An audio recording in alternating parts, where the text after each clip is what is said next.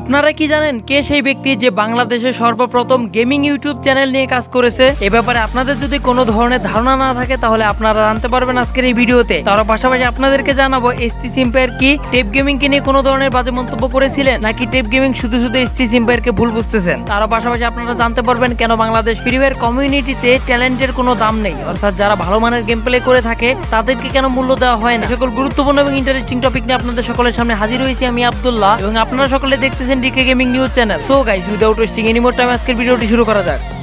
আজকে আমাদের প্রথম স্টোরিটি শুরু করব সোয়াক সরি কি দিয়ে। সোয়াক সরি হচ্ছে একজন ইউটিউবার তারও পাশাপাশি তিনি একজন টুর্নামেন্ট প্লেয়ার রিসেন্টলি সোয়াক সরি তার ইউটিউব চ্যানেলে টুর্নামেন্ট রিলেটেড একটি ভিডিও আপলোড করেন। অর্থাৎ তিনি তার ভিডিওতে জানান কীভাবে আপনারা টুর্নামেন্ট খেলতে পারবেন, আপনাদের টুর্নামেন্টে কি ধরনের স্ট্র্যাটেজি হওয়া উচিত। তিনি যেহেতু একজন অভিজ্ঞ লোক, তাই তিনি ব্যাপারটিকে অনেক ভালোভাবে এক্সপ্লেন করতে পেরেছেন বলে আমার মনে হয়েছে। সোয়াক সরি তার ইউটিউব চ্যানেলে যে ভিডিওটি আপলোড করেছে, সেই ভিডিওর সামান্য একটি ক্লিপ আপনাদের সামনে প্লে করতেছি। আর আপনারা যারা যারা পুরো ভিডিওটি দেখতে ইন্টারেস্টেড তারা অবশ্যই আমার ডিসক্রিপশন বক্সে থাকা লিঙ্ক থেকে দেখতে পারেন, যে আপনারা যে সকল ব্যক্তিরা টুর্নামেন্টের প্রস্তুতি নিতে চাচ্ছেন, তাদের জন্য অনেক উপকারী হতে পারে। এনিমি গ্লোয়ালের ডান সাইড দিয়ে রাশ করে।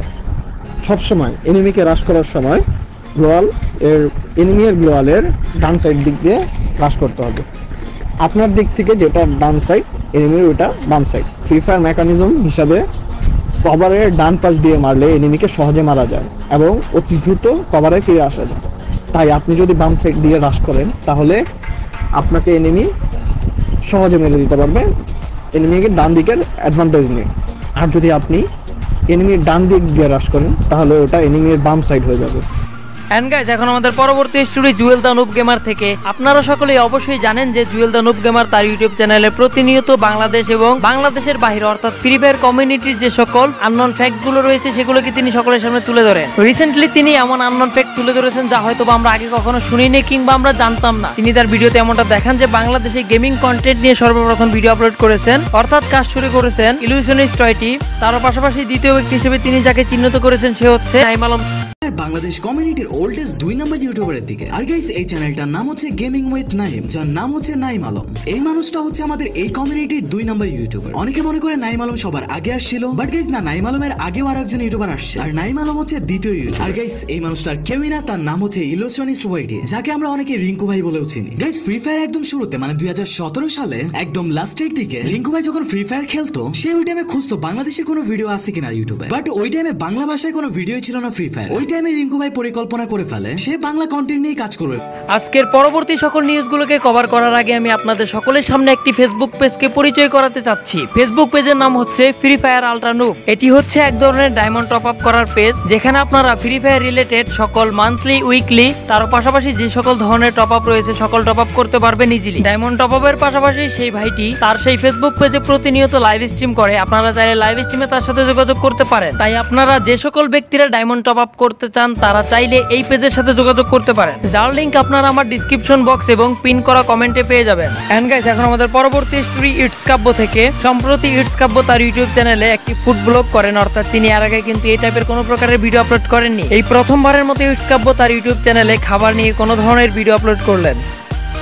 অ্যান্ড গাইজ এখন আমাদের পরবর্তী স্টোরি রাত বাই ওয়াইটি থেকে। আপনারা যদি গ্র্যান্ড মাস্টারে থাকা লিস্টগুলোকে চেক করেন, তাহলে আপনারা দেখতে পাবেন যে রাত বাই ওয়াইটি যেখানে টপ ওয়ানে ছিল, সেখান থেকে তিনি বর্তমানে টপ সিক্স কিংবা তারও নিচে চলে এসেছেন। এটি কীভাবে হলো, কেনই বা হলো এই সকল ব্যাপারে রাত বাই ওয়াইটি তার ভিডিওতে জানায় তিনি পরবর্তীতে এই ব্যাপারে আজ কিংবা তার পরের দিন কোনো ধরনের ভিডিও আপলোড করে সেখানে সকল ব্যাপারগুলোকে অবশ্যই গাইস রাত বাই ওয়াইটি যদি ভিডিওটি আপলোড করে, তাহলে আমরা জানতে পারব যে তিনি কেন বর্তমানে টপ সিক্সে রয়েছে কিন্তু আমি ভিডিও দিয়ে দিব কালকের মধ্যে মেবি কালকে বা তারপর দিন যে কেন আমি টপ সিক্সে চলে গেছি। তো সিক্স না সেভেনে আসি তো গাইস কেন গেছি? ওটা নিয়ে তোমাদের একটা ভিডিও কালকে পাওয়া যাবে। ইনশাল্লাহ তো গাইস অ্যান্ড গাইস এখন আমাদের পরবর্তী স্টোরি টেপ গেমিং এবং এসটি সিম্পায়ারের সাথে রিলেটেড আপনারা অবশ্যই জানেন যে কিছুদিন আগে টেপ গেমিং এর একটি ঘটনা ঘটে, যে ব্যাপারটি অনেক ভাইরাল হয়ে যায় এবং সে ব্যাপারে এসটি সিম্পায়ার টেপ গেমিং কে রোস্ট করেন। এসটি সিম্পায়ার তার পরবর্তী ভিডিওতে এমনটা দাবি করেন যে, তিনি টেপ গেমিং কে উদ্দেশ্য করে বলেন টেপ গেমিং কে হার্ড করে তিনি কোনো ধরনের কথা বলতে চায়নি। এবং কি, এমনকি তিনি তার ভিডিওতে কোনো ধরনের গালিগালাজ করেননি। শুধুমাত্র টেপ গেমিং এর যে ধরনের ভুল হয়েছিল, সেই ব্যাপারটিকে ক্লিয়ার করে দিয়েছেন। এসটি সিম্পায়ার তার ভিডিওতে টেপ গেমিং কে রিকোয়েস্ট করে বলেন টেপ গেমিং কে নিয়ে তিনি কোনো ধরনের ধরনের খারাপ কথা বলেননি? থাম্বনেলে রিবন ভাই ফটো লাগাইছি দ্যাটস মিন তোমরা মনে করতেছো আমি তাকে রোস্ট করেছি। তোমরা এসে আমাকে হুদায় গালি দিতেছো। ভাই, পুরো ভিডিওটা দেখো, বুঝবা যে আমি কোথাও রোস্ট করিনি রিবন ভাইকে। না তাকে কোথাও খারাপ বলেছি, না তাকে গালি দিছি। ইভেন দেখলাম রিমন ভাইয়েরও মিসআন্ডারস্ট্যান্ডিং হয়েছে আমার ভিডিওতে। তো ভাই, আমি আপনার উদ্দেশ্যে বলতেছি, ওই ভিডিওতে আমি কোনো জায়গায় আপনাকে খারাপ বলিনি। আমি জাস্ট বলেছি, আপনি টিমিংটা নাও করলে পারতেন। আমরা আপনার কাছ থেকে অনেক কিছু আশা করি। তো গালি টালি এগুলো দিবেন না লাইভে এসে। জানি ওই সিচুয়েশনে গালি দেওয়াটা স্বাভাবিক। কিন্তু আপনি যদি টিমিংটা না করেন তাহলে তো এই সিচুয়েশনটা হইতো না।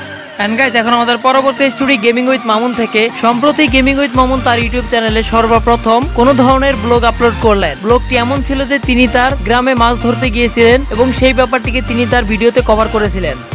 অ্যান্ড গাইজ এখন আমাদের পরবর্তী স্টোরি স্কিল ক্রিস তাসিন থেকে। আপনারা অবশ্যই জানেন যে আমাদের ফ্রি ফায়ারের সকল ব্যাপারগুলো ভাইরাল হয়, কিন্তু আমাদের যে সকল রিয়েল প্লেয়ার অর্থাৎ যারা যে সকল অরিজিনাল গেমার রয়েছে, তারা কিন্তু কখনোই ভাইরাল হতে পারে না, কিংবা তারা ভাইরাল হতে অনেক কষ্ট হয়। এমনটা কেন হয়? এ ব্যাপারে স্কিল ক্রিস তাসিন তার ভিডিওতে বলেন, আপনাকে কোনো না কোনো ঘটনা ঘটাতে হবে, তা না হলে আপনি ভাইরাল হতে পারবেন না। যার উদাহরণস্বরূপ তিনি টেপ গেমিং কে সামনে নিয়ে আসেন। অর্থাৎ সম্প্রতি টেপ গেমিং তার ইউটিউবে তার অডিয়েন্সদের সাথে গালাগালি করেছে, যে ব্যাপারটা কিন্তু সত্যি অনেক ভাইরাল হয়ে গিয়েছে। কিন্তু যে সকল অরিজিনাল খেলোয়াড়রা, অর্থাৎ যে সকল ব্যক্তিরা সত্যিকারের গেম প্লে করে, অনেক ভালো মানের গেম প্লে করে, তারা কিন্তু ভাইরাল হতে পারতেছে না কিংবা ভাইরাল হচ্ছেও না। এ ব্যাপারে স্কিল ক্রিস্তাসিন তার ভিডিওতে কি বলেছিল তার সামান্য একটি ক্লিপ আপনাদেরকে দেখাচ্ছি।